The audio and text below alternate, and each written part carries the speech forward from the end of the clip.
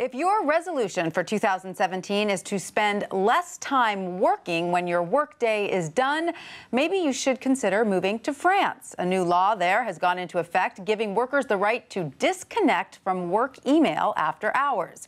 But there is a catch. Joining us to discuss is WSJ reporter Sam Schechner from Paris.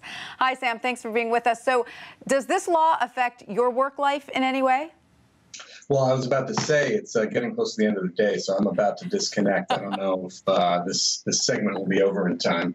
Um, no, I, you know, it's uh, it's great on paper. It's actually an issue that is not. Um, well, great, I guess, for employees on paper. Uh, it's an issue that's not restricted to France. Um, but the law, which is part of this big omnibus labor law aimed at actually loosening restrictions for hiring and firing to sort of juice uh, hiring in France, uh, where the you know unemployment has stayed rather stubbornly high, uh, like in other parts of Europe. This law introduces this new right to disconnect, but the right really boils down to a right for employees to negotiate or unions to negotiate with uh, employers on ways to make sure that their off time is better respected and that they're not you know forced to be constantly on their phones. Uh, and if they don't come to an agreement then the office has to put out a kind of charter a sensitivity charter for how people should respect uh, you know family life and the division between work and private time. I see. So everyone has to agree. And sam does this law only apply to companies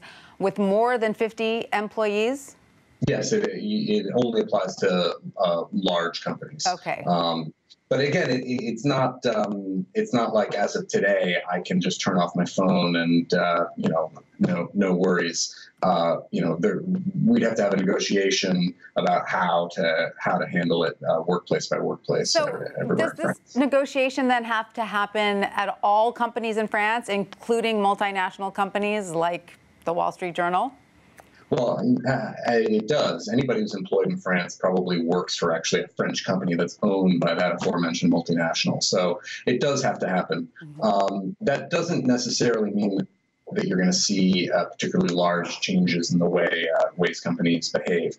That being said, it could lead to a, the effort, the idea at least from the defenders' laws, to change a little bit of the workplace culture sure. uh, where people are supposed to be always on. And, and in fact, some of where you've seen this pushed most extremely is in Germany, uh, where a number of large employers have actually instituted programs where you know employees can opt out of getting any emails after nine o'clock, or uh, you know, so both Volkswagen and Daimler have uh, have um, you know, instituted rules like this for their uh, their employees. And, and Daimler, um, you know, actually between 6:15 and 7 a.m. Uh, their servers don't send corporate emails to Germany-based non-manager employees. And Daimler employees can actually ask as well during their vacation time when they have their out-of-office on to just have the emails deleted. So when they come back, they don't have the full inbox. Right, they don't have to deal with it. Now, let's say a company and its employees negotiates an email schedule that everybody agrees on. What happens if it's violated? Does the company get fined? Uh, there's actually no penalty in the law, so no. Mm-hmm. Um, but uh, that would kind of fall to whatever the agreement stipulated. You might, if it gets violated, get extra time off or things like that. Uh, again, it would come down to uh, a workplace agreement. I think in most cases, though, this is more of a symbolic gesture to sort of say, hey, listen, let's say stop to this world where we're all on Twitter and Facebook and our company email all the time and try to create more of a work life balance, which frankly is something that does uh, come up in conversations in the United States as well. well, absolutely. I was going to say nobody argues with that. So do you think that we could see similar legislation in the U.S. anytime soon? It seems like the U.S. has a slightly different approach to handling these kinds of cultural shifts than, than uh, France does. Uh, France, they, they joke about how there's a new law for every problem.